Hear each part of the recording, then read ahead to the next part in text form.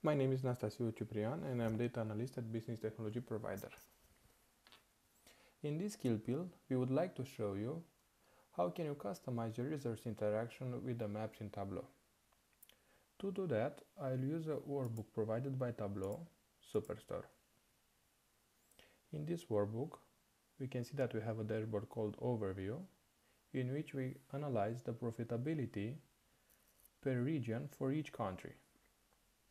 Also, we can see that in the top left corner, we have the options for the map. I will go, I will get through all of them, but firstly, I will start, I will start with an example that we see very often on the users that is very inconvenient for them and the one that you can scroll to zoom in or zoom out from the mouse.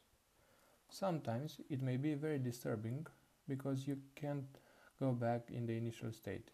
And if you don't know how to do that, Tableau offers you the option to reset map and you just you'll just go to the initial state. Furthermore, if you want to, just deactivate these options for your, your users, you can go from map, map options, and just uncheck the allow pan and zoom box. And now we can see that the zoom out and zoom in options are deactivated and they disappear.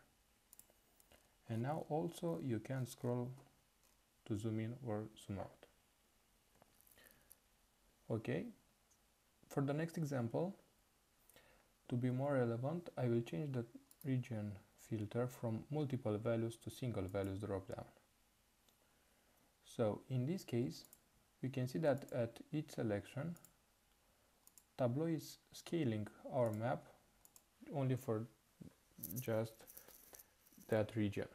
But let's say that we want to keep it at the initial state, but I also want to select only one or two regions. And for that, I will fix the map and now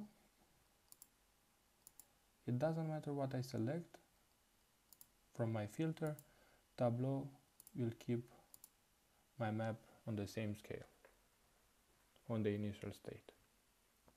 Okay? Also another useful option that we have in the toolbar is the search option. So let's say if you want to go to a deeper level of detail like a region I will just type Ile and I can see that Tableau recommends me Ile-de-France region. And I can see that I can see now the profitability for this region. And also you can type any region you want to verify. Also let's say I want to check out country at the country level I can now see that I have my regions from Belgium in this case and I don't have to bother to search it from the initial state of the map.